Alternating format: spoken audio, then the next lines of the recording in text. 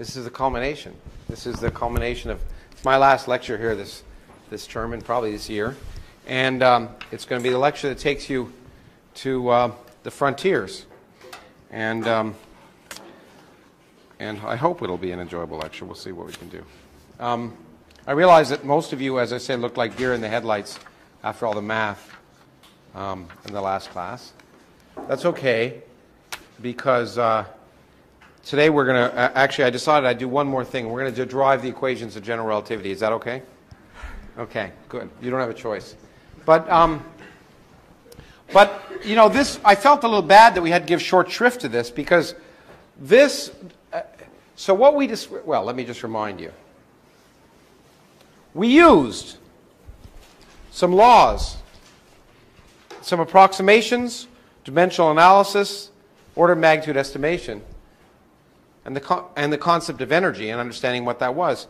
To start with balls and falling out of here, and using those same, nothing, nothing more, no stuff that you can understand the mathematics of 100% if you spent time looking at it. We discovered something remarkable.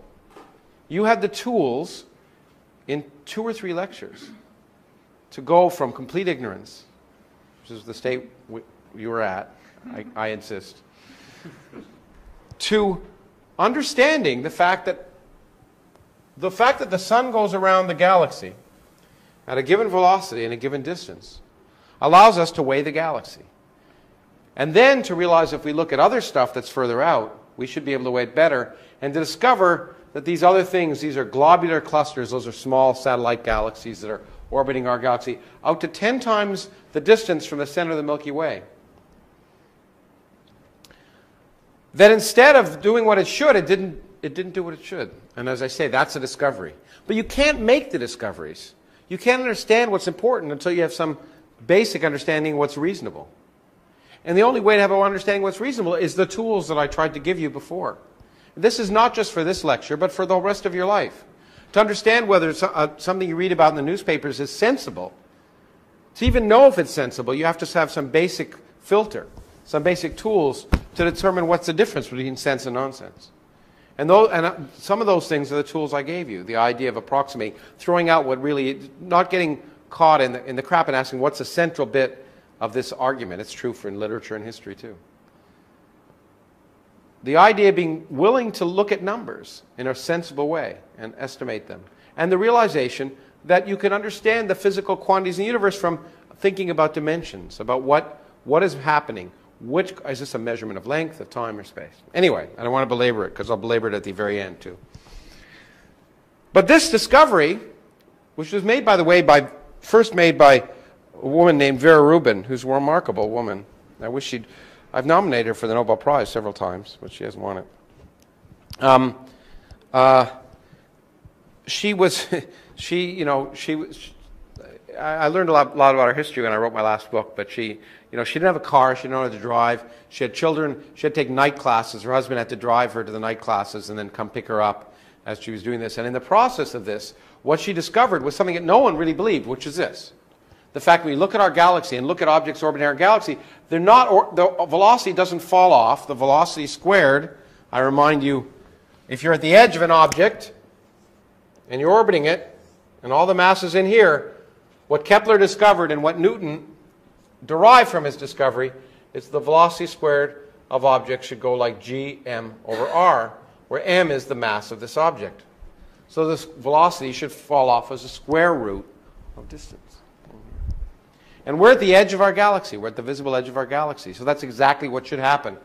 But instead, what we're seeing is the velocity is constant, more or less.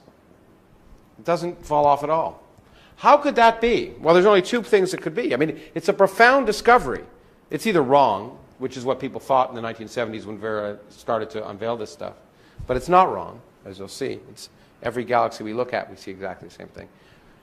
So it's not wrong, but that's the first thing you should assume whenever you see something strange and experimentally, that the experiment is wrong. It means that this base that somehow something's breaking down. But remember what's breaking down, what would have to break down, is Newton's laws. It's not some exotic stuff, it's the fundamental physics that governs everything you see. So that would have to break down at some fundamental level on the scale of our galaxy, which seems crazy, although some people have entertained that possibility, some scientists. But the other possibility is quite simple. How could this be, this be consistent with this? I could ask, but I'll answer.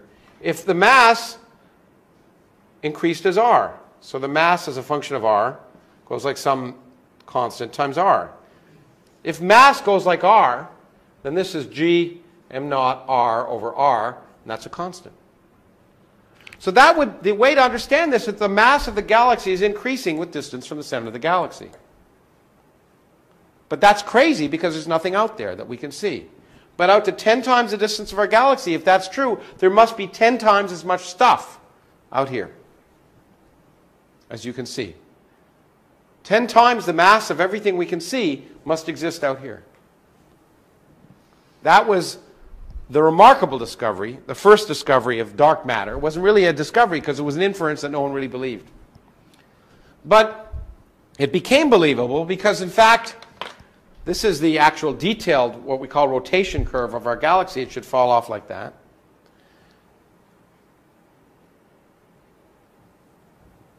But this is not just true for our galaxy, it's true for other galaxies. Here are two other galaxies. This is the light going from the center of the galaxy, the light's falling off because the stars end.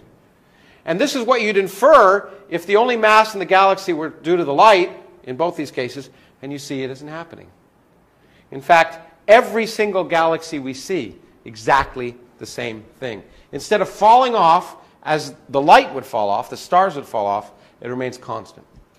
And what we discovered is that not just our galaxy, but every galaxy in the universe is dominated by this stuff we call dark matter. Yeah? Um, how do you know every galaxy? Is Well, I mean, every galaxy we see. Okay. Okay. And from there, we make an inference that it's not unusual. Now, the percentage of dark matter to regular matter varies, and it depends on the size of the galaxy a little bit. These are questions that people try and ask because we want to understand what the dark matter is. And if the dark matter is somehow related to the light matter, then you might expect certain relationships to occur. They haven't. Now, the interesting thing that that I really don't have time for here, but, I, but, but because the discovery is all I wanted to get you to. In, in an hour and a half, we went from, from Galileo, essentially, to discovering dark matter with the kind of physics that you have mastered in your mind, whether you know it or not. And it, what is even more fascinating, as I, as I think I alluded to, is that there's so much of this stuff. We know how many protons and neutrons are in the universe. And there's, t- there's 10 times more of this stuff, or at least four or five times more in this picture, than, than, um, than can be accounted for those protons and neutrons. That means to us that this dark matter must be something else. It must be made of something else other than the stuff that makes you and I up in this room and everything we see. And that means the stuff of matter, the stuff that makes the world that we're used to and comfortable with and we think of when we think of the universe, is really just a small bit of cosmic pollution in a sea of dark matter. We are not the central stuff in the universe. And as I said, what makes it particularly interesting is it's in this room, it's going right through you. Now, okay, that's weighing galaxies. But remember the whole point of weighing galaxies. We, we, we weighed the Earth, we weighed the Sun, weighed the galaxy. We weren't doing this just to look for job opportunities. Remember, the purpose was to find out, ultimately, how much mass there is so we could determine whether the galaxies would continue to expand forever. Because remember, in that picture, another sphere, everything is a sphere. In that picture, where our galaxy is in the center and the galaxies all around, we wanted to know what's going to happen to that, that galaxy right here. And it was a, two things. It depended on its velocity squared as it's moving away, but then it depended on the mass. And so, in order to determine the mass on the largest possible scales, we have to weigh those scales. And, if you, and determining the mass of galaxies was one thing, but what about the stuff between galaxies? How can you determine that? Well, you can, again, continue to try and weigh the universe, but you can use a new technique. And I want to give you a little bit of history because it's amusing, because science has gotten harder in many ways. This is 1936, the journal Science, which is a distinguished scientific journal. And um, in 1936, a paper in that distinguished scientific journal appeared called Lens Like Action of a Star by the Deviation of Light in a Gravitational Field. Okay, fine. But here's how it, the paper began.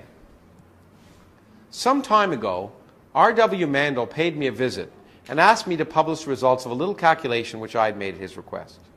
This note complies with his wish. Now, I defy, look at science today.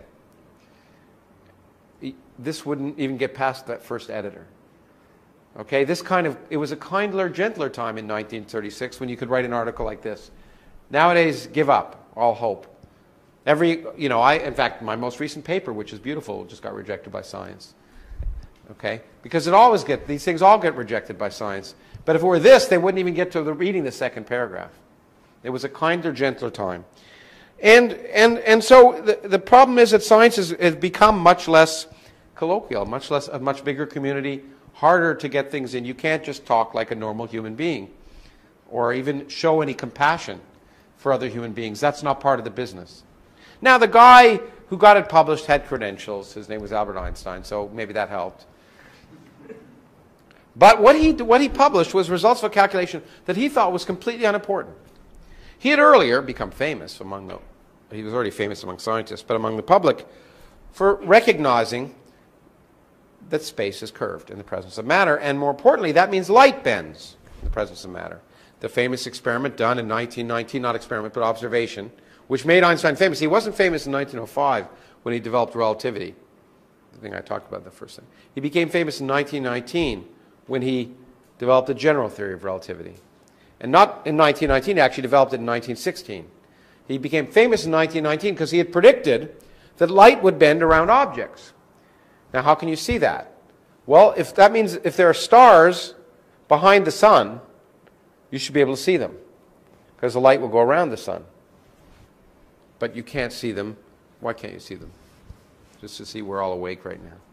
Why can't you see stars behind the sun? The sun's pretty bright. Try and look at it, okay? Um, it's, it's very bright, and so you can't see stars behind it. So, people said, well, let's wait for a solar eclipse. And let's wait for a solar eclipse. And if there's a star behind the sun, if the light bends around it, the star will appear to be here. It's really here, but it'll appear to be here because our eyes think the light is going in a straight line. So we'll look for stars very near the sun that really shouldn't be visible at all. And it was a bit of interesting sociology, which is why I'm mentioning it to this group that I wouldn't normally. Uh, history, perhaps more, well, just as much history as sociology this was the, one of the reasons I think that Einstein, besides having a new theory of gravity and therefore supplanting Newton and became so famous, was that in 1919 a group of British astronomers led by Sir Arthur Stanley Eddington went to the southern hemisphere to measure this eclipse, which had been predicted by a German scientist. And you may know that between 1916 and 1919 there were some interesting things happening in the world. In particular, between Germany and England. Do you know what was happening then? No. Well, there was a there was a war. It was called the World War. It was way back, but it, it, it and so it was really kind of kind of remarkable that that that that this British uh, wonderful characteristic of science, as far as I'm concerned. This British team was go- trying to verify this result from this formerly enemy scientist and of course, what they discovered was it bent exactly as Einstein said. He became famous, the front page of all the papers in the world. That's what made him a household celebrity immediately. Anyway, so he'd already shown that, but he realized, and he thought this was entirely important, that if I had a mass distribution that was big enough, and I had a light source behind the mass distribution, the light could come around and bend both ways and come back and be refocused, be magnified, like my glasses magnify nearby objects. And therefore, Space could act like a lens. And if I had a cut glass goblet and I looked at you, I'd see many images of you. So he realized the curvature of space could actually magnify things. But he said the effect was so small, he thought the effect was so small, it was unimportant. He never bothered. So, in fact, here, a little bit of history, is his notebook from 1936, for what it's mattered, the calculation that he performed at, at the request of Mr. Mandl. Um, but in fact, it, it's kind of amusing if you look at the history. He'd done exactly the same calculation in 1912 but he totally forgot about it. He thought it was so unimportant. And this is my favorite part of the whole story. Um, this is the letter he wrote the editor after the paper appeared. let me also thank you for your cooperation with the little publication which Mr. Mandl squeezed out of me. It is little, of little value, but it makes the poor guy happy. That's how science is done. That little calculation, which is so unimportant, allows us to weigh the universe. Because here's the phenomena that Einstein said would never be observable. This is how we can weigh the largest systems in the universe. This is a picture, it's a Hubble Space Telescope picture. Every spot in the picture is a galaxy, not a star. Each, each, each galaxy contains 100 billion stars.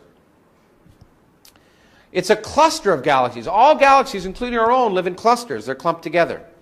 Clusters of galaxies are the biggest bound objects in the universe. Anything that can fall into anything will fall into a cluster of galaxies. Okay? So if you could weigh the cluster, you can basically weigh everything. The size of the cluster is quite large. This is 5 billion light years away, this particular cluster. 5 billion light years away. So the light from these stars left those stars before our sun formed by 500 million years. And that means, by the way, when life forms on those galaxies look at our galaxy, the light from us now, okay, five billion years from now, they'll see it. So we, our sun won't even be here anymore. It'll have burned out. In fact, most of the stars in this picture probably have burned out in the time it took for the light to get here. And civilizations around those stars are now gone. These, these, this is the kind of thing that should, this is the kind of thing I find remarkable every time I look at a picture like this. But there's another remarkable thing about this picture. So the scale of this is about 10 million light years across. 10 million light years across.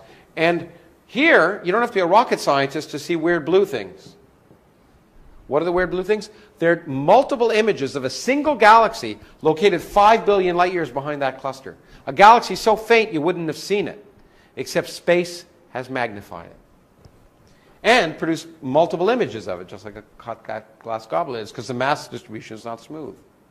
Space is curved. This is proof of it. And space is acting like a lens. The very phenomena that Einstein said was possible but never observable. Now, the neat thing is we can use this. We understand general relativity, so we can work backwards. It's very complicated mathematics. But from this image, we can work backwards and ask, where's the mass and how much of it is there in order to create that image? You know, you could imagine doing that in principle. It's a very complicated numerical inversion algorithm, but we can do that, the same kind of algorithm that Google uses to find out the, its favorite sites, in fact. That's made them 100 billion bucks. It made Einstein, well, this didn't make Einstein famous at all. Anyway, didn't make him any money as far as I know. But when you do it, oh, this is a, you, this is a picture of the same cluster. And when you do it, you can infer the mass. See this hazy stuff? This is where the mass is. And in fact, we can quantify it a little more carefully. So here is an image of the places, that, this is where the galaxies were in that picture. And you can see that there's mass where the galaxies are, but there's a huge mountain of mass where the galaxies aren't. There's 40 times as much mass in this picture as can be accounted for by all the galaxies. And around each galaxy, there's 10 times as much mass as in the center, where the stars are. 40 times as much mass definitively telling you that there's 10 times more stuff than protons and neutrons in the universe. And most of the, and at least 90% of the mass in the universe is not where the galaxies are. But this allows us to finally do the Holy Grail. By weighing these larger systems, we can ask how much mass is there? Is there enough mass to stop this damn galaxy from coming back and all the other galaxies? Is there enough mass to cause the universe to recollapse? The big central question of science, because once we knew the universe was expanding, the question is how will the universe end? Collapse or expand forever? That's what got me into the field, as I say. And uh, we finally have answered the question. And I don't know if I've. Yeah, here's the answer. Isn't it amazing?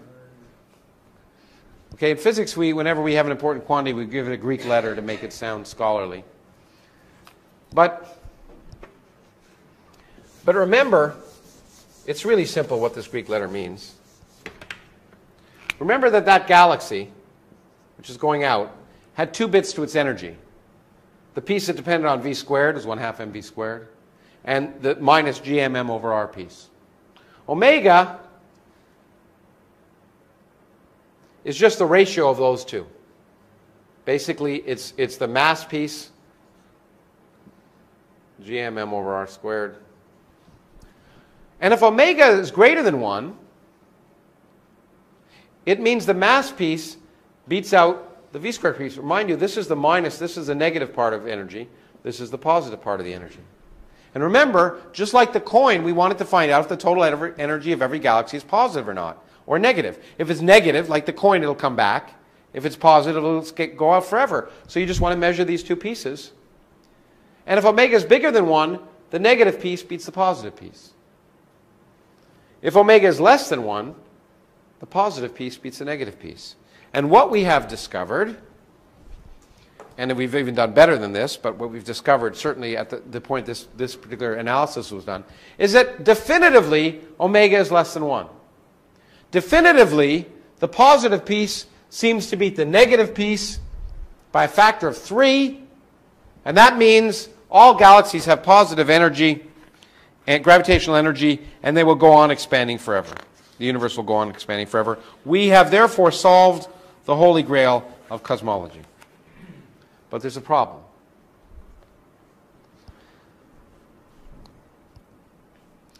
The real problem is that we theorists knew the answer. And we knew that was wrong. We knew that we always know the answer. We're very rarely right. But we always know the answer. And we knew that, in fact, the problem was a universe in which these two numbers are different. The only universe that's beautiful is a, beautiful, is a universe in which those two numbers are the same. And I want to show you that, and that will require from, for, and I, if I say this, it's going to scare you, but it's not. One of the things I'm going to take great pleasure in doing right now is deriving for you Einstein's equations of general relativity. So watch. And this is you can you can go home and amaze your parents and tell them that they're, you're, they're, the, the huge sums they're expending for you to come here are worth it. Because, because now you can derive general relativity for your friends. Okay. Spherical region. I remind you that the total energy of any given galaxy has two pieces. One half mv squared, which we draw, minus g, the mass of this region, the big region, little mass, over r, where r is the, re- r is the radius of the region. Okay? That's what we spent an inordinate amount of time um, doing. Now, all we care about to know the future of the universe is whether this is greater than or equal to zero. Right? That's all we care about. So we can multiply this, both sides this, by positive numbers, and it doesn't change anything. Okay? So let's just think about what these things are. Well, what is Mr. What is v squared? Well, you won't remember, but you might remember that Mr. Hubble told us the velocity is proportional to distance. And therefore, the velocity is the Hubble constant times the radius, the distance this galaxy is away from us. Remember, galaxy is twice as far, so goes twice as fast. So v squared is hr squared. Okay? Good. Where h is Mr. Hubble's constant, this number that I showed you is characteristic of the universe, 100 kilometers per second per megaparsec, that allows us to say the universe is 10 billion years old. Okay? So you're intimately familiar with that number too. It doesn't really matter here. It's a number. Okay, so that piece I can rewrite. The only thing uh, piece I want to write is the mass. Now, this requires a bit of grade school algebra, which therefore is beyond most adults. But let's try it. Let's assume the average density of matter is uniform. And because I'm a physicist, I'm going to call density rho because it's what we call density. That means, you know, 5 grams per cubic centimeter. That's density, right? That's a density of mass. Now, what's the mass of a, of a region of volume V if density rho? What's the units of mass? We can work this out. What's the units of mass? Yeah, any kilograms. If density is kilograms per meter cubed, and volume is meter cubed, what combination of those two things do you think would give you mass? Right? Rho is in kilogram, let's say call it kilogram per meter cubed. Volume is meter cubed. Well, I hope you realize you don't have to get the mass, you don't have to be Einstein to write rho v. Because the mass the mass of a region of volume V that has density rho is the volume times the density. Y- You know, it sounds great, but you would all have given, told me, been able to tell me that if you thought about it. If I asked you how much a liter of, of milk weighs, if it, if it, if it, uh, if it weighs uh, one gram per centiliter, you probably would have told me weigh 100 grams or something like that. You would have been able to work it out. You might, the equation is daunting, but you would have understood it. Okay, so that's great. But now the only last thing we know have to need to know is what's the volume of a, of a sphere of radius r. And and you almost you where, where where are you? He's not here today. Okay, he almost told me this once. What it? Four thirds half. Four, four thirds. Yep, four thirds pi r cubed. He forgot the four last time. But I want to keep the four thirds here because I want to do such a good job. So this is four thirds pi r cubed, which is the volume of a sphere, times the density. Okay? Let's just keep those, let's just keep that. So that's the mass. That's the mass. And remember, the velocity of the galaxy was hr. Okay? So let's play. Let's play with this equation. Remember, all I care about, I'll rewrite it so it's pretty. All I care about is is the left hand side positive or negative? So that means I can do things like multiply both sides by 2 because 2 is a positive number. Okay? If, if ET is positive, 2ET is positive. I can divide by m because m is positive, mass is positive. I don't need to know the mass of the galaxy. So, Multiply the second term by two as well. Oh yeah, thank you very much. Let's waiting for that. Good. Good. Now let's let's just say, okay, what's v squared? It's h squared r squared, right? And this is g, and what's m? m is 4 thirds pi r cubed, but when you multiply by 2, it's 8 pi g over 3. 8 thirds pi r cubed. Okay? Rho. r cubed over r is r squared, where I come from. Okay? Now, I can divide by r squared, because r squared is a positive number, right?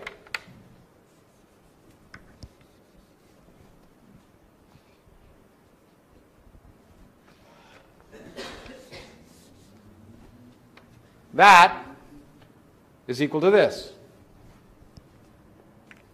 If this is positive, if ET is positive, this qu- quantity, the left side is positive. And so therefore, we just have to be able to compare h squared and 8 pi g over 3 rho. I have two g's. Someone should have told me that. I had g twice. OG. Okay.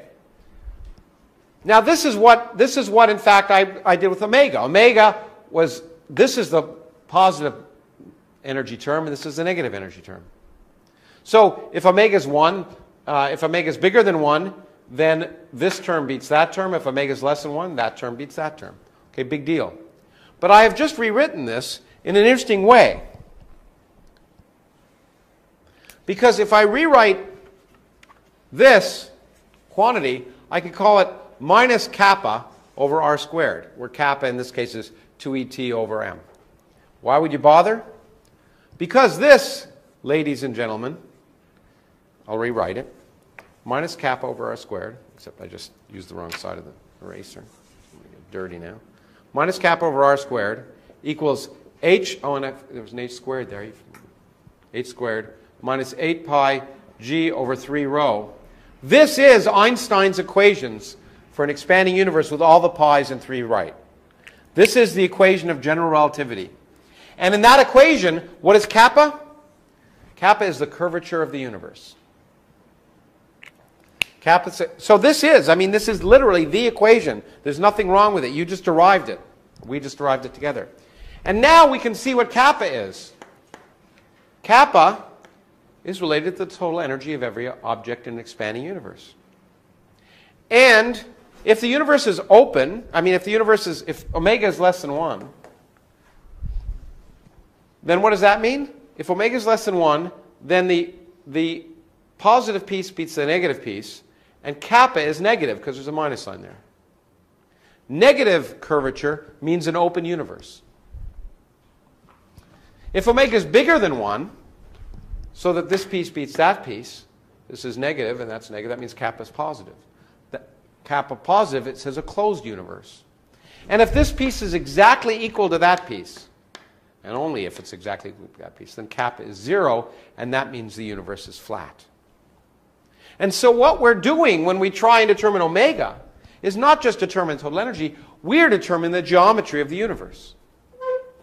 And so if this is true, oops, if this is true, then we've determined that the universe is open. We've, we've solved the problem of what the geometry of the universe is by measuring the total amount of stuff. And this is why we theorists knew they had the answer wrong. Because they got omega equals 0.3. But if omega is the ratio of this over this, which it is, then there's only one universe that's reasonable, and that's a flat universe. Why a flat universe? Because only in a flat universe is the total energy of every object zero. And if you were going to create a universe from nothing, what would you make the total gravitational energy? So a flat universe had, because the presumption, a reasonable presumption is that our universe comes from nothing without God. If it's going to come from nothing, then its total gravitational energy of every object could be zero. And what's nice about gravity is it gives a negative piece as well as a positive piece. So it was a bias of theorists that the universe was flat, but there is a loophole in this argument. Namely, this measures all the mass around galaxies and clusters of galaxies. But what if there's mass where the galaxies aren't and the clusters aren't? You'd miss it. This is a very inefficient way of interpreting, determining the geometry of the universe. You determine the geometry of the universe by plugging things in Einstein's equations, uh, and one number which you don't know very well until recently, another number which was uncertain, subtracting them and hope to know if this was zero, positive, or negative. Until, remember, Mr. Hubble got this number wrong by a factor of 10. Until about 10 years ago, we didn't, or 20 years ago, we didn't know this number to better than about 50%. The amount of dark matter in galaxies we didn't know to better than 50%. You got two numbers we don't know to an uncertainty of a factor of two. How can you determine if this is positive, negative, or zero? There were as many papers written by observers saying it was positive as there were negative as ones by saying zero. And if, as I say, it all came together and it settled on this being negative, except the only way you could probe it was by looking around galaxies. Wouldn't it be better to me- measure the geometry of the universe directly? We can do that. We can go out, you can go out tonight and measure the geometry of the universe. Well, I'm, I'm not going to talk about detecting it because I, I, um, I think I'm already talking s- slower than I wanted to. And if I want, if I want to get back to it, I can. So I'm not going to talk about how we detect dark matter. So here's our picture. Here's a flat universe, a closed universe, and an open universe. This is now. This is these are not the universes in which we might live. For I would ask you why, but you'll all just stare at me because they're two-dimensional universes. We live in a three-dimensional universe. We have that way, that way, and that way. But I can't draw curved three-dimensional universes for you. I can't draw it because we live in three dimensions. We can't picture three dimensional curved universes. But I can draw cur- curved two dimensional universes, and, and, and a, a curved, a, a closed two dimensional universe is simply the surface of a sphere. An open two dimensional universe kind of looks like an infinite saddle, it goes out for all directions. And a flat two dimensional universe is like a flat piece of paper. Now, I can tell you what the, uh, some aspects of what a closed three dimensional universe would look like. Well, I can't tell you what it looked like, but I can tell you operationally. In a closed three dimensional universe, if I looked out far enough in that direction, I'd see the back of my head. Because light would go around the universe. Come back to it again. What would a flat three dimensional universe look like? It would look like the universe you always thought you lived in. A flat three dimensional universe is one in which the x, y, and z axes, and I say z because I'm such a continental kind of guy, even though I'm American, um, x, y, z axes point in the same direction everywhere the space that you always thought you lived in. It's just where x, y, and z point in the same direction everywhere. In curved universes, x, y, and z here, if you move them through space, will end up pointing in, one, in another direction. Okay? So the question was, which universe do we live in? And as I say, the reason we wanted to know was because in a closed universe, it looked like, because the negative piece beats the positive piece in the energy, the universe would collapse. An open universe, the universe would expand forever. And a flat universe is just the boundary between them. That's why we wanted to know this. Okay. So how do you measure the geometry of the universe? Well, let's take a simpler question. How would you, if I gave you this assignment, by the way, no one ever gave me the answer for the number of piano tuners. I thought you would at least Google it. You can email me. Did anyone? It was 75 to 150. Was that 75 to 150? There we go. Perfect. Ta-da. Ta-da. You get two gold stars. And maybe maybe something else. But anyway, that's good. So see we were right. It had to be. It can't be wrong. Anyway, if I were to give you a different assignment, which was to measure the curvature of the earth, how would you do that? Is someone at the door? Oh no. Come in. Okay. There we go. There we go. You were trying to do that unobtrusively, but we just made it obtrusive. Okay. Um, how would you measure the curvature of the Earth if you couldn't go around it and you couldn't go up in a satellite? How would you know the Earth is curved? They didn't for a long time, right? Thought it was flat. Go to Kansas, see what it looks like. Very simple. Draw a triangle. Then ask a properly educated high school student what the sum of the angles in a triangle is. And I hope that was all of you a few years ago. 180 degrees. Okay? And that's fine because you learned your geometry, if you learned geometry, from Euclid. Where the sum of the angles in a triangle is 180 degrees. But that's only true on a flat piece of paper. On the surface of the Earth, I can draw the following triangle. I go along the equator, I make a right angle, go up to the North Pole, make another right angle, come to the equator. Adding up three right angles, each right angle is 90 degrees. 3 times 90 is 270. If I drew a large enough triangle on the surface of the Earth, it would differ from 180 degrees, and that's how I'd know the Earth was curved. Okay? Good. It turns out exactly the same thing is true. Exactly the same thing works for a curved three dimensional space. If we had a large enough triangle and measure the angles, we could determine the curvature of the universe. And in the last decade or so, we've been able to find that triangle.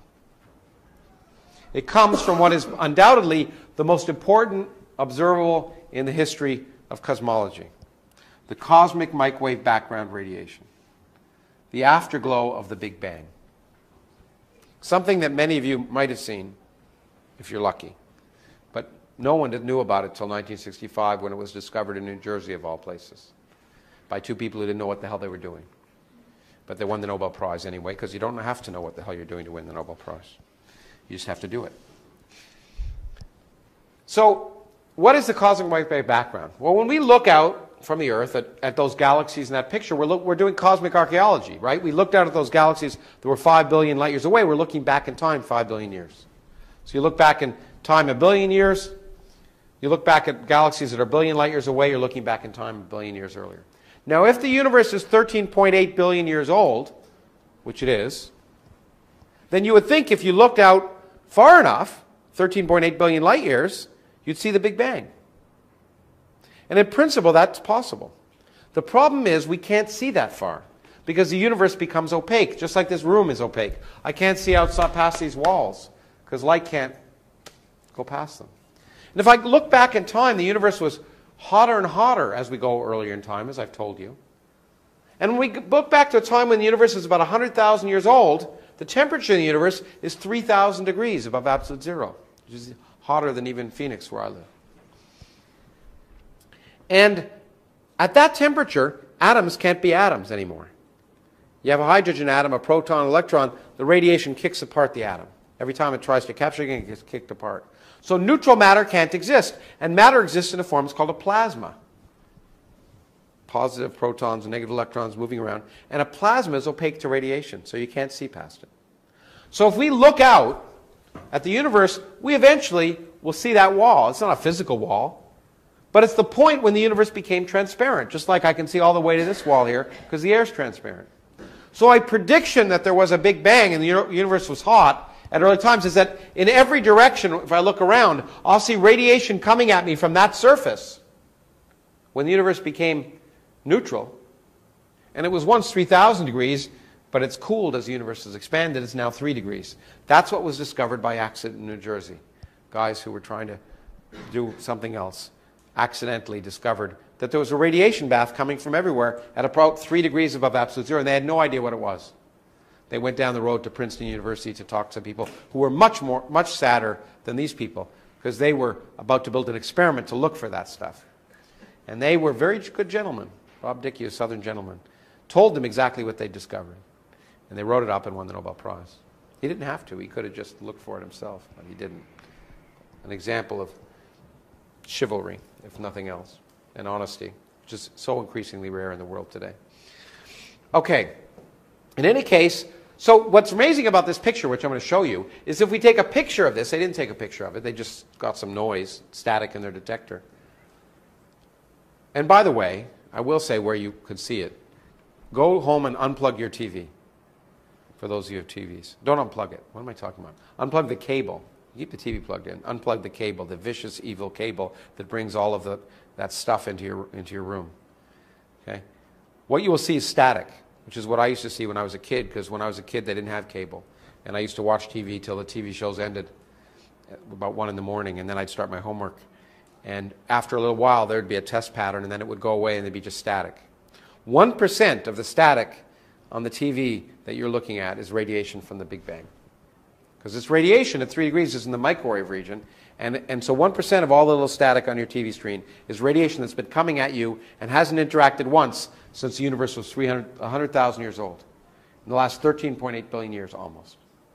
And so that's why this picture, if I took a picture of this, would be amazing. It would be a baby picture of the universe. If I could see that radiation, it would have last come from a time when the universe was only a few hundred thousand years old. And I'll show you the picture. But in that picture, there's one scale that's important. And that's how we get a triangle. It's one degree. Why one degree? Well, this length is 100,000 light years. At a time when the universe is 100,000 years old, there's something important about that scale. Einstein told us that no information can move faster than light. Therefore, nothing that happened over here at the time this surface was created could ever affect anything over here. Okay, what does that mean? If I have a lump of matter, what does it do? It collapses due to gravity, right? Then it heats up because of pressure. But if I have a lump that's this big, it doesn't even know it's a lump. It's like, again, with another TV allegory here. With, it's like Wile E. Coyote on the Roadrunner, in case you ever watched that cartoon like I used to watch. He always runs off the cliff and hangs around for a while till he knows he's supposed to fall. And that's exactly the case here. A lump of matter that's this big doesn't know it's supposed to collapse because gravity can't have traveled across it because gravity travels at the speed of light. So the largest lumps that can have begun to collapse at this time are this big across. But that gives us a ruler. Because you see, in a flat universe, light rays travel in straight lines. So if I have a ruler that's 100,000 light years across, a known distance away from me, it will span in my eye one degree. But in a, an open universe, light rays bend outward as you go back in time. So the same ruler will look smaller because the light rays will converge in, and my, what I'll see is an object that will look smaller. It'll be maybe half a degree across. In a closed universe, light rays converge as you go back in time, so the ruler will look bigger. So all you have to do is look at that surface and ask, how big are those lumps? Are they half a degree, one degree, or two degrees? And you can determine what universe we live in. And that's what we've done. This was the first experiment that was designed to do it, or able to do it. It was called the boomerang experiment. It was in Antarctica. Involved a, mic, uh, a balloon that took a microwave receiver way above the Earth's surface. Why? Because the Earth is hot. We're looking for a background that's three degrees above absolute zero. That's a lot colder than the Earth, and the Earth is radiating.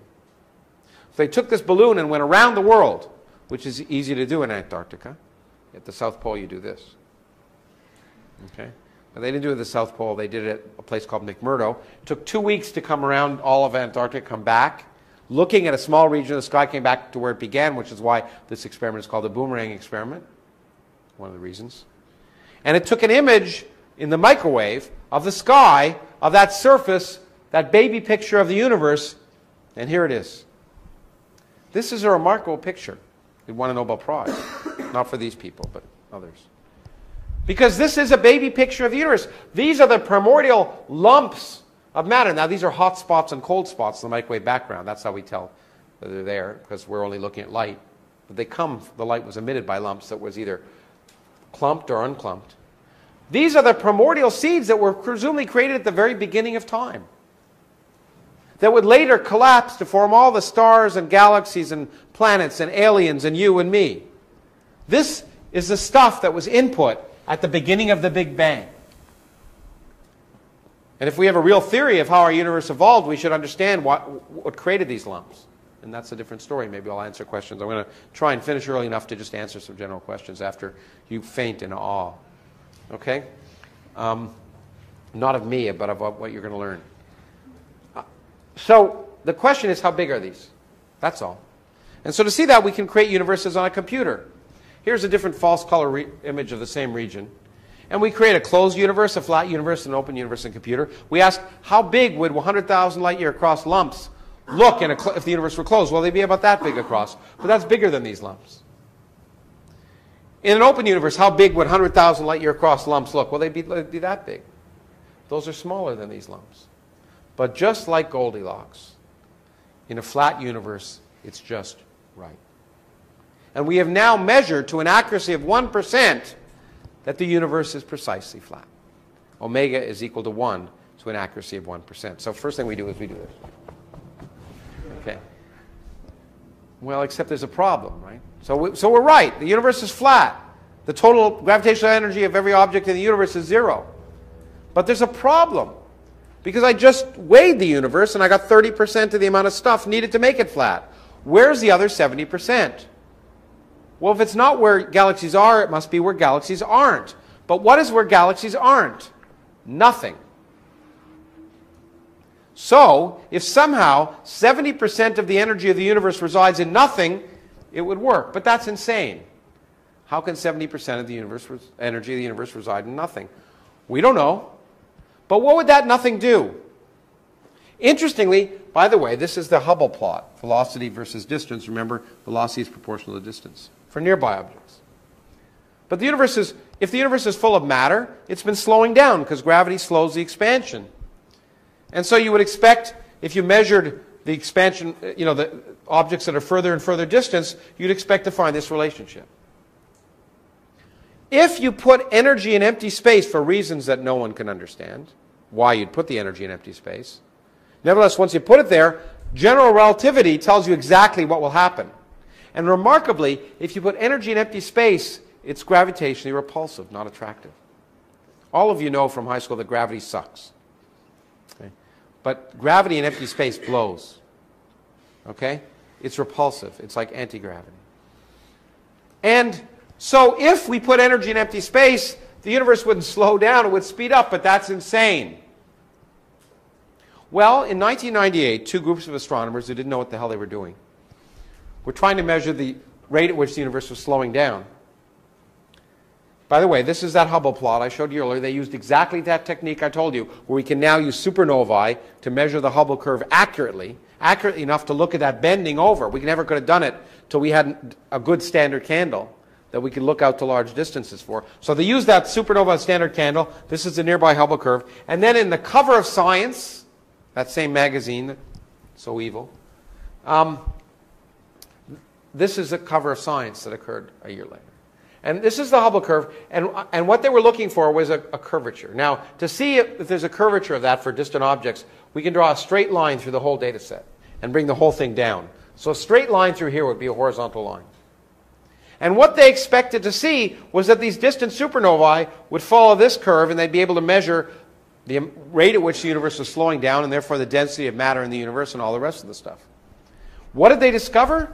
To their complete shock and amazement, they discovered that the supernovae lay above the straight line. There's only two ways to understand this. One, the data is wrong, which it usually is. When I first saw it, I thought it was, even though I predicted it.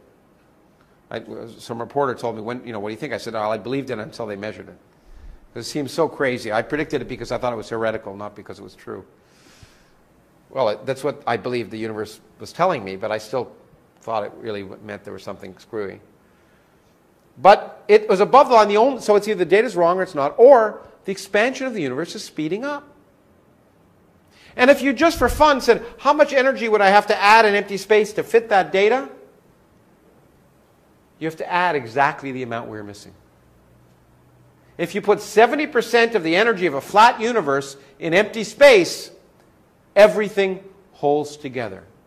So it's probably not the first time this title has been used in this, in this uh, room, or in, but, but nevertheless, it is remarkable because what we've learned from all of this, which, by the way, we began with two days ago, what we have discovered with just a little bit of, a little bit of, a few tools, is that the dominant energy in the universe resides in empty space. More exciting is the fact that we don't have the slightest idea why it's there. It's the biggest mystery in science. We have come together to the biggest mystery in science. Its existence is probably tied to the very nature of space and time. By the way, if you ever have a lecturer come and explain it to you, they're lying, especially if they're a string theorist. Okay? its existence is probably tied to the beginning of the universe, which is one of the reasons like people like me are interested in it, and it will determine our future. It turns out the future isn't determined by whether the geometry of the universe is open, closed, or flat. We know it's flat. The future will be determined by what happens to this energy of empty space, and we don't know what's going to happen. But let me give you one version of the future, which is the most likely future, which is miserable. So I think it's a good way to end the lecture and the class and your exposure to, to the universe. The future is miserable, in case you're wondering. Almost certainly.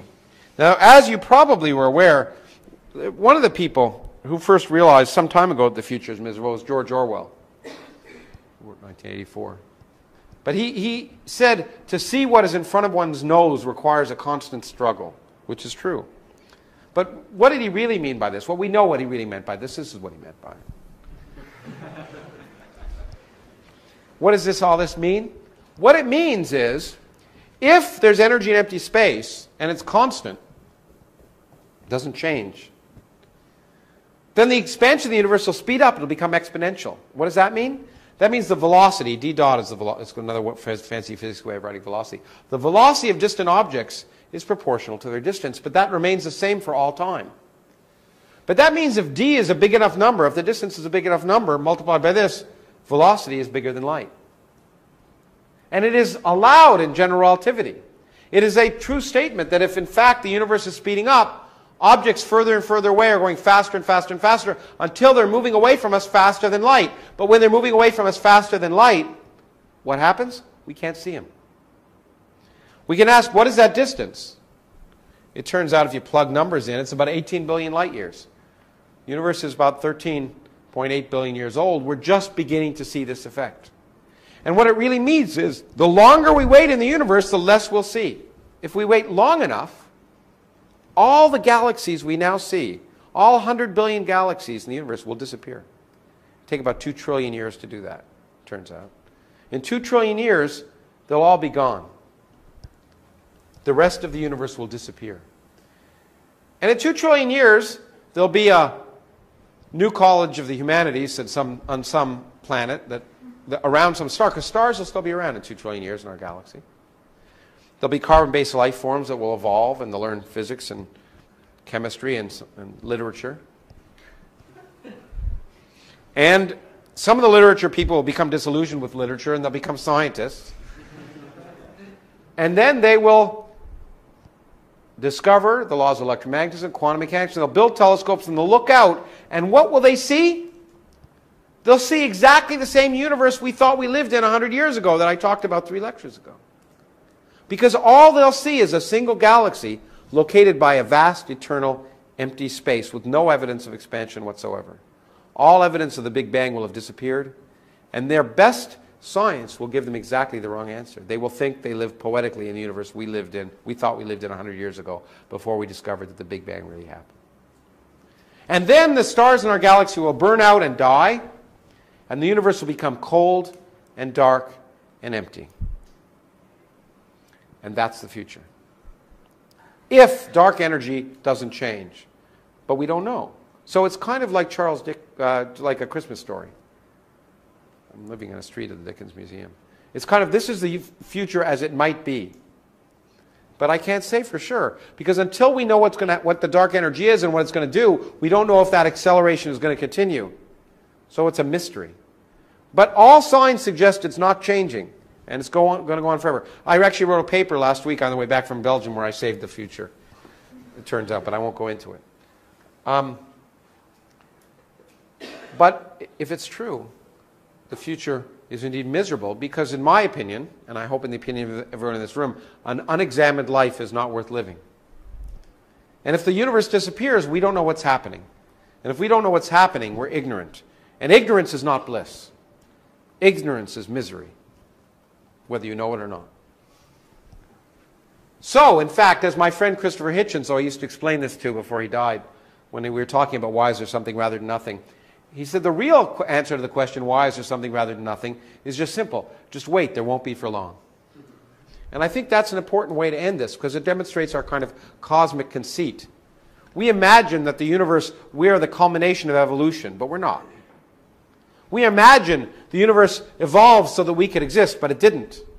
And we also imagine the universe we see today is the universe as it'll always be. But it won't be. We're here for a brief cosmic instant. And so, what we have learned and discovered, and I'll just summarize it in a second, can be, can be reduced after, with using these beautiful tools which we've learned, can be reduced to two important things that you should take away from, from all of these lectures. First, you are far more insignificant than you imagine. Because remember, you were insignificant even if it was just dark matter. But when you add dark energy in, Everything we see is less than 1% of the total energy of the universe. You could get rid of all the stars and all the galaxies and everything we see in the night sky, and the universe would be exactly the same.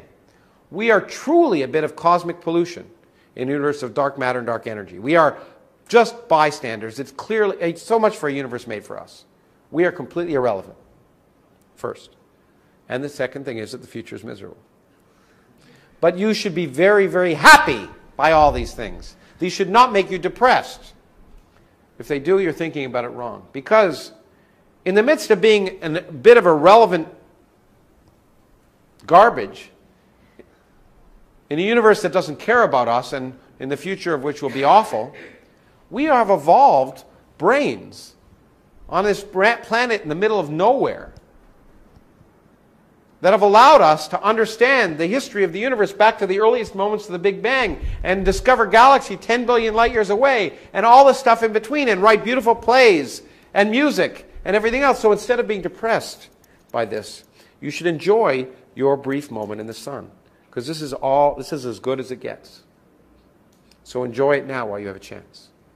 That's the moral. Now, it would be a beautiful way to end, but I just want to say, therefore, I want you to sit back and think where we've come from in the last four lectures. Everything we got, we got just from simple approximations, order of magnitude estimates, which gave us the ideas of how to treat the quantities that are relevant, dimensional analysis, which we then applied to the idea of energy. Just those simple tools gave us energy and the form of energy, and it's allowed us to determine the entire history of the universe future, past, and present and determine that the future is miserable. So, a little bit of knowledge and a few tools has illuminated the biggest mysteries in nature. And you've been able to do it in four classes. And I mean, I do it, I mean, we did the math. The incredible power that you now have in your hands is amazing now that your ignorance has been dispelled. And, like Spider Man, with great power comes great responsibility. Thank you.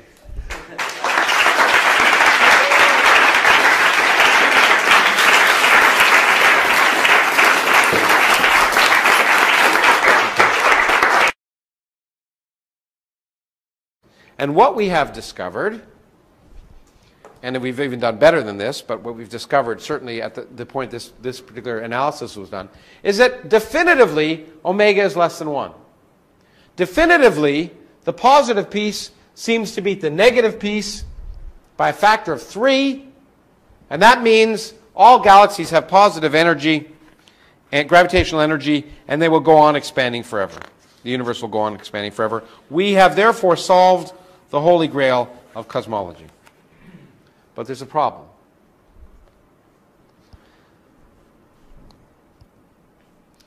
The real problem is that we theorists knew the answer. And we knew that was wrong. We knew that we always know the answer. We're very rarely right. But we always know the answer. And we knew that, in fact, the problem was a universe in which these two numbers are different. The only universe that's beautiful is a, beautiful, is a universe in which those two numbers are the same. And I want to show you that, and that will require from, for, and I, if I say this, it's going to scare you, but it's not. One of the things I'm going to take great pleasure in doing right now is deriving for you Einstein's equations of general relativity. So watch. And this is, you can, you can go home and amaze your parents and tell them that they're, you're, the, the, the huge sums they're expending for you to come here are worth it because, now you can derive general relativity for your friends. Okay. Spherical region. I remind you that the total energy of any given galaxy has two pieces. One half mv squared, which we derive, minus g, the mass of this region, the big region, little mass, over r, where r is the, re- r is the radius of the region. Okay? That's what we spent an inordinate amount of time um, doing. Now, all we care about to know the future of the universe is whether this is greater than or equal to zero. Right? That's all we care about. So we can multiply this, both sides this, by positive numbers, and it doesn't change anything. Okay?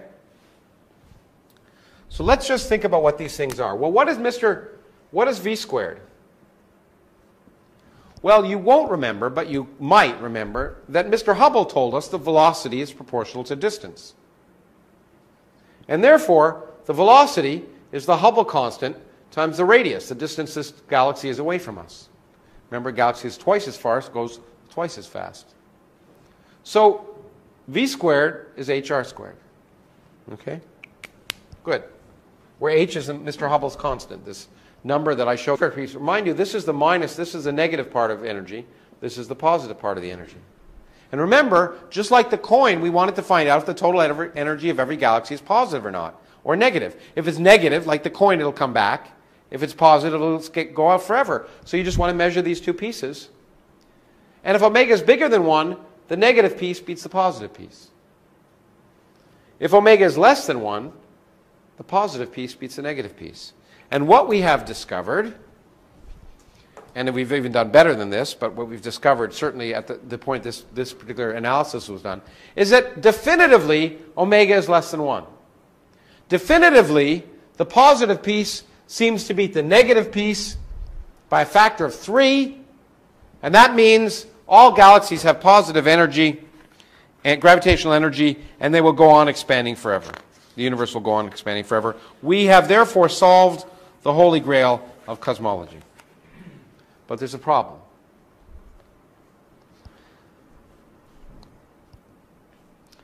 The real problem is that we theorists knew the answer. And we knew that was wrong. We knew that we always know the answer. We're very rarely right. But we always know the answer. And we knew that, in fact, the problem was a universe in which these two numbers are different. The only universe that's beautiful is a beautiful there's a universe in which those two numbers are the same.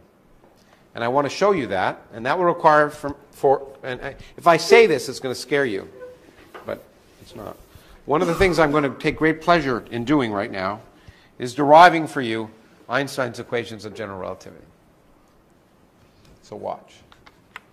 And this is, you can, you can go home and amaze your parents and tell them that they're, you're, the, the, the huge sums they're expending for you to come here are worth it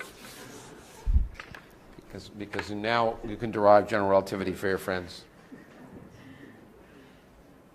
Okay.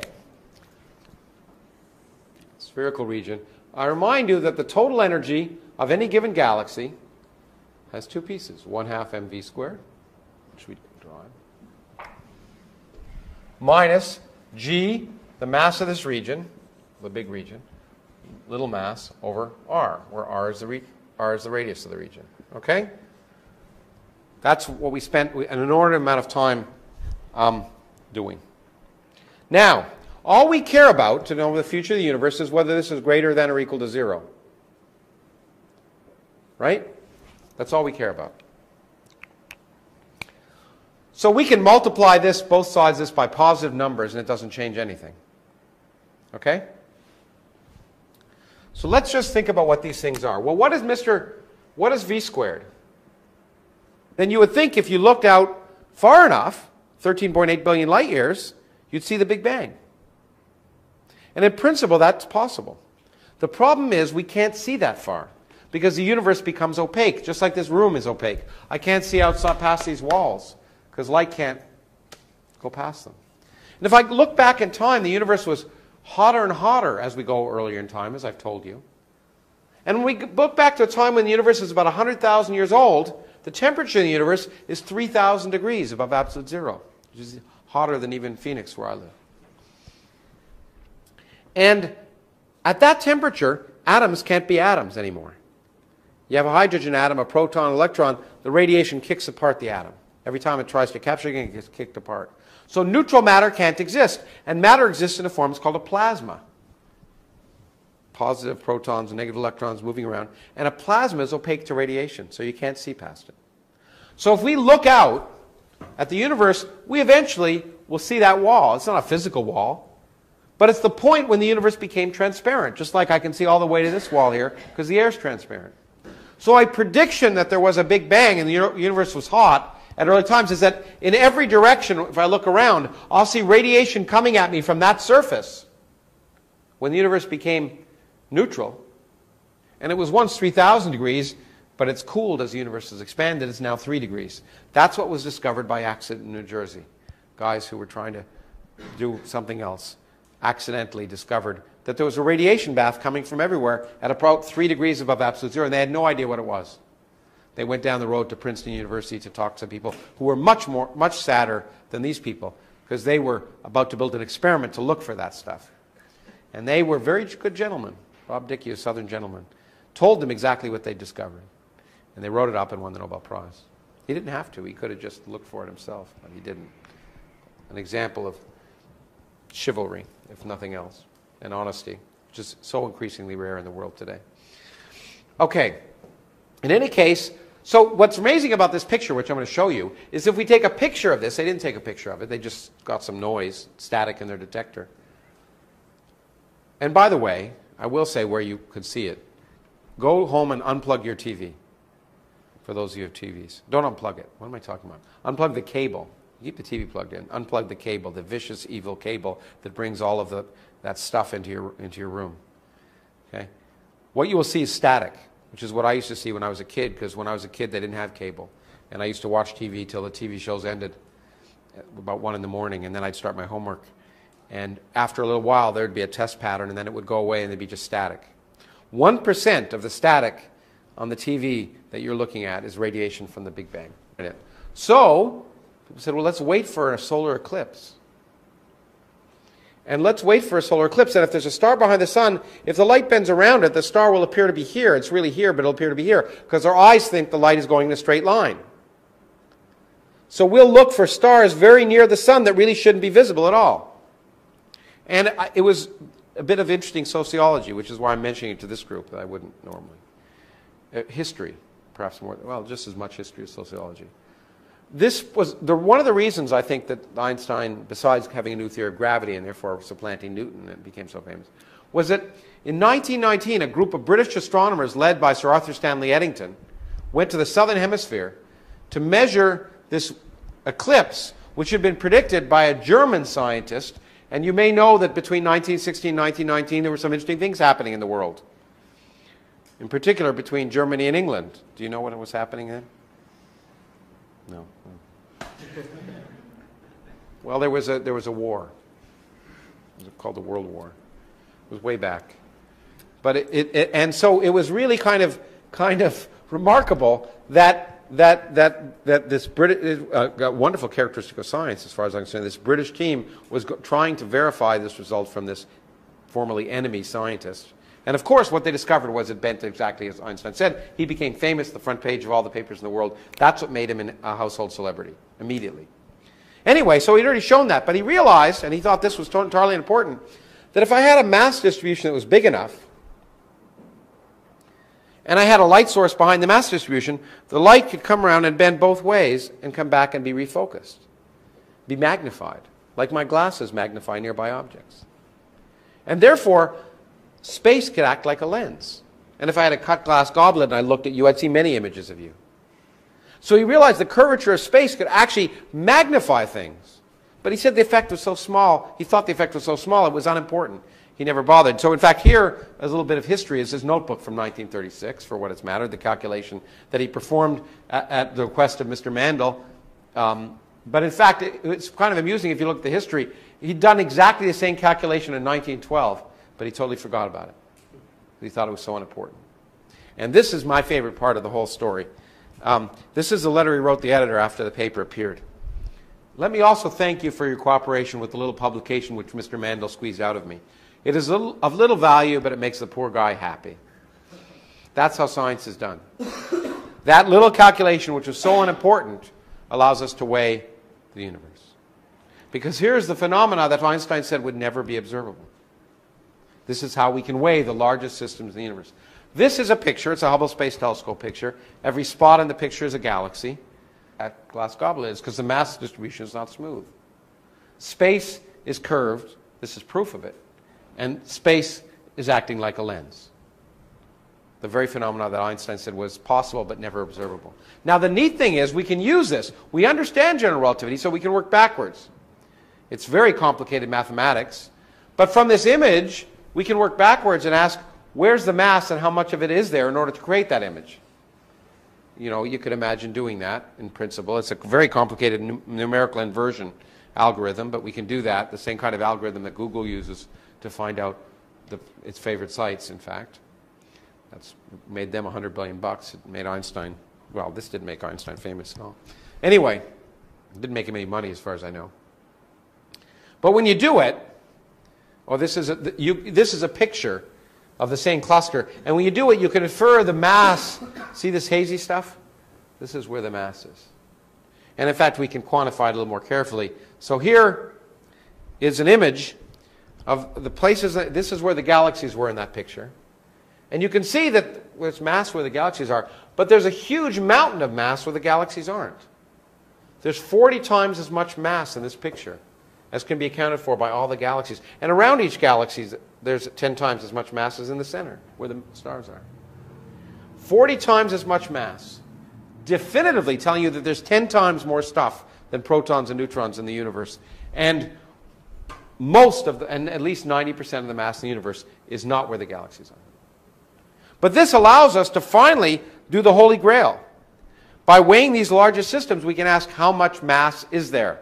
Is there enough mass to stop this damn galaxy from coming back and all the other galaxies? Is there enough mass to cause the universe to recollapse? The big central question of science, because once we knew the universe was expanding, the question is how will the universe end? Collapse or expand forever?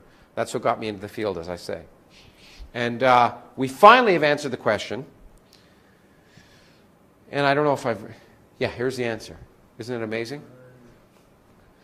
Okay, in physics, we, whenever we have an important quantity, we give it a Greek letter to make it sound scholarly. But, but remember, it's really simple what this Greek letter means. Remember that that galaxy, which is going out, had two bits to its energy. The piece that depended on v squared is 1 half mv squared, and the minus gmm over r piece. Omega is just the ratio of those two. Basically, it's, it's the mass piece, gmm over r squared. And if omega is greater than 1, the, uh, some aspects of what a closed three-dimensional universe would look like Well, I can't tell you what it looked like, but I can tell you operationally. In a closed three dimensional universe, if I looked out far enough in that direction, I'd see the back of my head.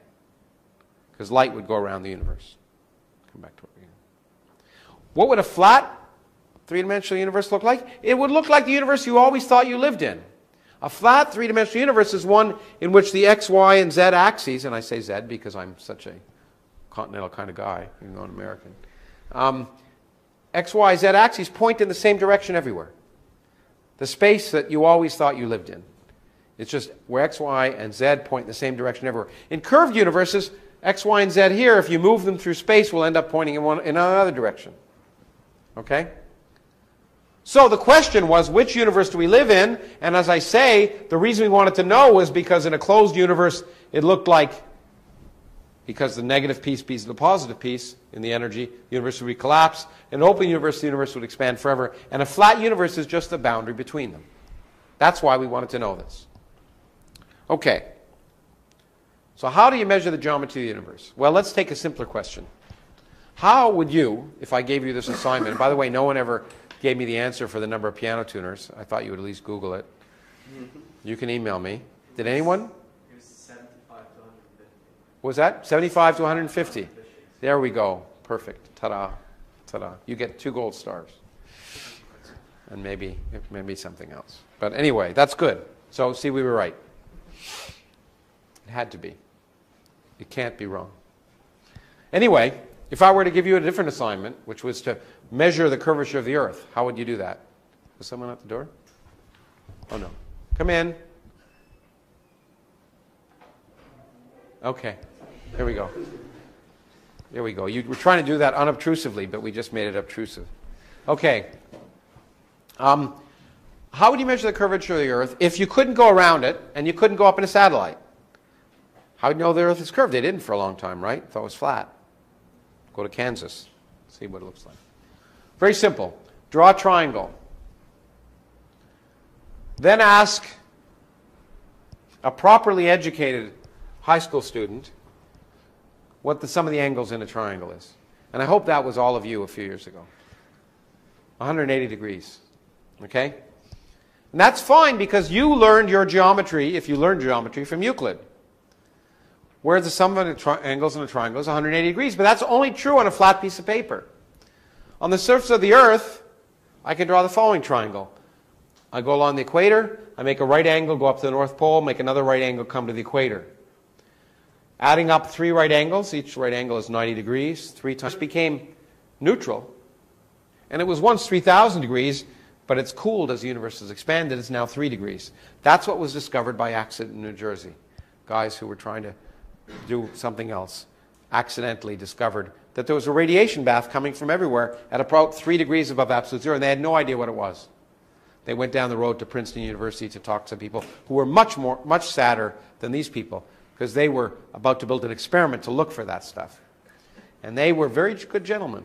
Bob Dicke, a Southern gentleman, told them exactly what they discovered. And they wrote it up and won the Nobel Prize. He didn't have to. He could have just looked for it himself, but he didn't. An example of chivalry, if nothing else, and honesty, which is so increasingly rare in the world today. Okay.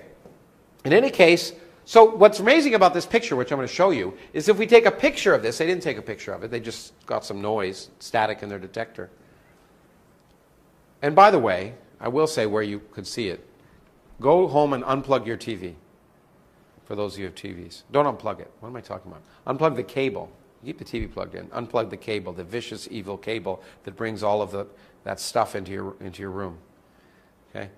What you will see is static, which is what I used to see when I was a kid, because when I was a kid, they didn't have cable. And I used to watch TV till the TV shows ended uh, about 1 in the morning, and then I'd start my homework. And after a little while, there'd be a test pattern, and then it would go away, and it'd be just static. 1% of the static on the TV that you're looking at is radiation from the Big Bang. Because it's radiation at 3 degrees is in the microwave region. And, and so 1% of all the little static on your TV screen is radiation that's been coming at you and hasn't interacted once since the universe was 300, 100,000 years old. In the last 13.8 billion years almost. And so that's why this picture, if I took a picture this, would be amazing. It'd be a baby picture of the universe. If I could see that radiation, it would have last come from a time when the universe was only a few hundred thousand years old. And I'll show you the picture. But in that picture, there's one scale that's important. And that's how we get a triangle. It's one degree. Why one degree? Well, this length is 100,000 light years. At a time when the universe is 100,000 years old, there's something important about that scale. Einstein told us that no information can move faster than light. Therefore, nothing that happened over here at the time this surface was created could ever affect anything over here. Okay, what does that mean? If I have a lump of matter, what does it do? It collapses due to gravity, right? Then it heats up because of pressure. So. But if I have a lump that's this big, it doesn't even know it's a lump. It's like, again, with another TV allegory here. With, it's like Wile E. Coyote on the Roadrunner, in case you ever watched that cartoon like I used to watch. He always row. I, I have two G's. Someone should have told me that. Had G twice. OG. Okay. Now this is what this is what in fact I, I did with omega. Omega was this is the positive energy term and this is the negative energy term. So if omega is one, uh, if omega is bigger than one, then this term beats that term. If omega is less than one, that term beats that term. Okay, big deal. But I have just rewritten this in an interesting way. Because if I rewrite this quantity, I could call it minus kappa over r squared, where kappa in this case is 2et over m. Why would you bother? Because this, ladies and gentlemen, I'll rewrite it, minus kappa over r squared, except I just used the wrong side of the eraser. dirty now. Minus kappa over r squared equals h, oh, and I, there was an h squared there, h squared, minus 8 pi g over 3 rho. This is Einstein's equations for an expanding universe with all the pi's and 3 right. This is the equation of general relativity. And in that equation, what is kappa? Kappa is the curvature of the universe. Kappa, so this is, I mean, this is literally the equation. There's nothing wrong with it. You just derived it. We just derived it together. And now we can see what kappa is. Kappa is related to the total energy of every object in an expanding universe. And if the universe is open, I mean, if the universe is, if omega is less than 1, then what does that mean? If omega is less than 1, then the, the positive piece beats the negative piece, and kappa is negative because there's a minus sign there. Negative curvature means an open universe. If omega is bigger than 1, so that this piece beats that piece. This is negative, and that's negative. That means kappa is positive. That kappa positive, it says a closed universe. And if this piece is exactly equal to that piece, and only if it's exactly equal to that piece, then kappa is zero, and that means the universe is flat. And so what we're doing when we try and determine omega is not just determine total energy, we're determining the geometry of the universe. And so if this is true, oops, if this is true, then we've determined that the universe is open. We've, we've solved the problem of what the geometry of the universe is by measuring the total amount of stuff. And this is why we theorists knew they had the answer wrong. Because they got omega equals 0.3, but if omega is the ratio of this over this, which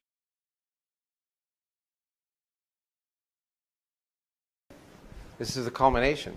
This is the culmination of it's my last lecture here this this term and probably this year, and um, it's going to be the lecture that takes you to uh, the frontiers, and um, and I hope it'll be an enjoyable lecture. We'll see what we can do.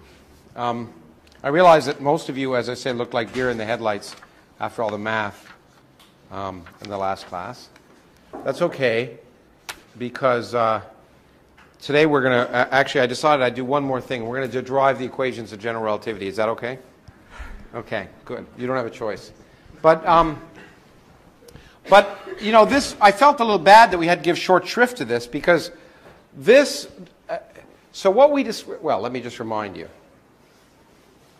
We used some laws, some approximations, dimensional analysis, order of magnitude estimation and the, and the concept of energy and understanding what that was. To start with balls and falling out of here, and using those same, nothing, nothing more, no stuff that you can understand the mathematics of 100% if you spent time looking at it. We discovered something remarkable. You had the tools in two or three lectures to go from complete ignorance, which is the state you were at, I, I insist, to understanding the fact that the fact that the sun goes around the galaxy at a given velocity and a given distance allows us to weigh the galaxy. And then to realize if we look at other stuff that's further out, we should be able to weigh it better and to discover that these other things, these are globular clusters, those are small satellite galaxies that are orbiting our galaxy, out to 10 times the distance from the center of the Milky Way. That instead of doing what it should, it didn't, it didn't do what it should. And as I say, that's a discovery. But you can't make the discoveries. You can't understand what's important until you have some basic understanding of what's reasonable. And the only way to have an understanding of what's reasonable is the tools that I tried to give you before. This is not just for this lecture, but for the rest of your life. To understand whether uh, something you read about in the newspapers is sensible, to even know if it's sensible, you have to have some basic filter, some basic tools to determine what's the difference between sense and nonsense. And, those, and uh, some of those things are the tools I gave you the idea of approximating, throwing out what really, not getting caught in the, in the crap and asking what's the central bit of this argument. It's true for in literature and history too. The idea of being willing to look at numbers in a sensible way and estimate them. And the realization that you can understand the physical quantities in the universe from start my homework. And after a little while, there'd be a test pattern, and then it would go away and it'd be just static. 1% of the static on the TV that you're looking at is radiation from the Big Bang. Because this radiation at 3 degrees is in the microwave region. And, and so 1% of all the little static on your TV screen is radiation that's been coming at you and hasn't interacted once since the universe was 100,000 years old. In the last 13.8 billion years almost. And so that's why this picture, if I took a picture of this, would be amazing. It'd be a baby picture of the universe. If I could see that radiation, it would have last come from a time when the universe was only a few hundred thousand years old. And I'll show you the picture. But in that picture, there's one scale that's important. And that's how we get a triangle. It's one degree. Why one degree? Well, this length is 100,000 light years. At a time when the universe is 100,000 years old, there's something important about that scale. Einstein told us that no information can move faster than light. Therefore, nothing that happened over here at the time this surface was created could ever affect anything over here. Okay, that, what does that mean? If I have a lump of matter, what does it do? It collapses due to gravity, right? Then it heats up because of pressure. So. But if I have a lump that's this big, it doesn't even know it's a lump. It's like, again, with another TV allegory here. With, it's like Wile E. Coyote on the Roadrunner, in case you ever watched that cartoon like I used to watch. He always runs off the cliff and hangs around for a while till he knows he's supposed to fall. And that's exactly the case here. A lump of matter that's this big doesn't know it's supposed to collapse because gravity can't have traveled across it because gravity travels at the speed of light. So the largest lumps that can have begun to collapse at this time are this big across. But that gives us a ruler. Because you see, in a flat universe, light rays travel in straight lines. So if I have a ruler that's 100,000 light years across, a known distance away from me, it will span in my eye one degree. But in a, an open universe, light rays bend outward as you go back in time. So the same ruler will look smaller because the light rays will converge in, and my, what I'll see is an object that will look smaller. It'll be maybe half a degree across. In a closed universe, light rays converge as you go back in time, so the ruler will look bigger. So all you have to do is look at that surface and ask, how big are those lumps? Are they half a degree, one degree, or two degrees? And you can determine what universe we live in. And that's what we've done. This was the first experiment that was designed to do it, or able to do it. It was called the boomerang experiment. It was in Antarctica. Involved a, mic, uh, a balloon that took a microwave receiver way above the Earth's surface, one instant. And so, what we have learned and discovered, and I'll just summarize it in a second, can be, fair, can be reduced after, with using these beautiful tools which we've learned, can be reduced to two important things that you should take away from, from all of these lectures. First, you are far more insignificant than you imagine. Because remember, you were insignificant even if it was just dark matter. But when you add dark energy in, everything we see is less than 1% of the total energy of the universe. You could get rid of all the stars and all the galaxies and everything we see in the night sky, and the universe would be exactly the same. We are truly a bit of cosmic pollution in a universe of dark matter and dark energy. We are just bystanders. It's clearly it's so much for a universe made for us. We are completely irrelevant. First. And the second thing is that the future is miserable. But you should be very, very happy by all these things. These should not make you depressed. If they do, you're thinking about it wrong. Because in the midst of being a bit of irrelevant garbage, in a universe that doesn't care about us and in the future of which will be awful, we have evolved brains on this planet in the middle of nowhere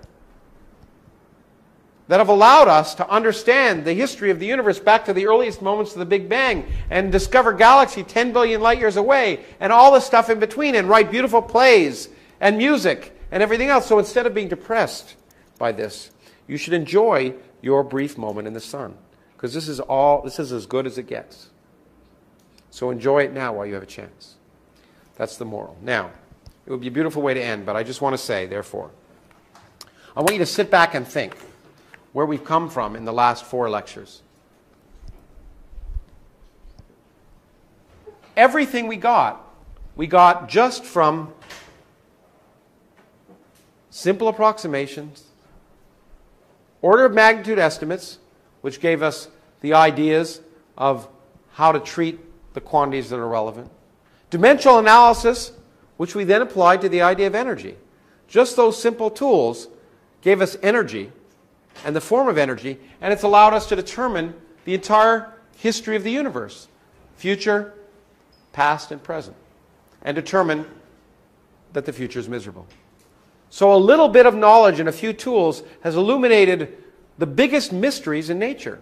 And you've been able to do it in four classes. And I mean, I do it, I mean, we did the math. The incredible power that you now have in your hands is amazing now that your ignorance has been dispelled. And, like Spider Man, with great power comes great responsibility. And the universe will become cold and dark and empty. And that's the future. If dark energy doesn't change. But we don't know. So it's kind of like Charles Dick, uh, like a Christmas story. I'm living in a street of the Dickens Museum. It's kind of this is the future as it might be. But I can't say for sure because until we know what's going to, what the dark energy is and what it's going to do, we don't know if that acceleration is going to continue. So it's a mystery. But all signs suggest it's not changing and it's going to go on forever. I actually wrote a paper last week on the way back from Belgium where I saved the future. It turns out, but I won't go into it. Um, but if it's true, the future is indeed miserable because, in my opinion, and I hope in the opinion of everyone in this room, an unexamined life is not worth living. And if the universe disappears, we don't know what's happening. And if we don't know what's happening, we're ignorant.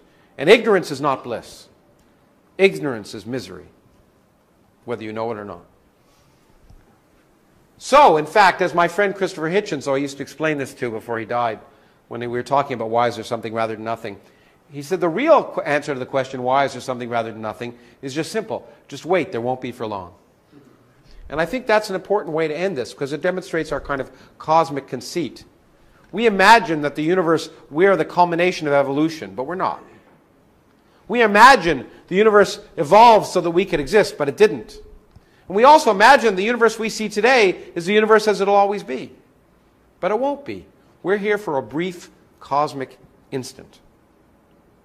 And so, what we have learned and discovered, and I'll just summarize it in a second, can be, can be reduced after, with using these beautiful tools which we've learned, can be reduced to two important things that you should take away from, from all of these lectures. First, you are far more insignificant than you imagine. Because remember, you were insignificant even if it was just dark matter. But when you add dark energy in, everything we see is less than 1% of the total energy of the universe. You could get rid of all the stars and all the galaxies and everything we see in the night sky, and the universe would be exactly the same. We are truly a bit of cosmic pollution in a universe of dark matter and dark energy. We are just bystanders. It's clearly it's so much for a universe made for us.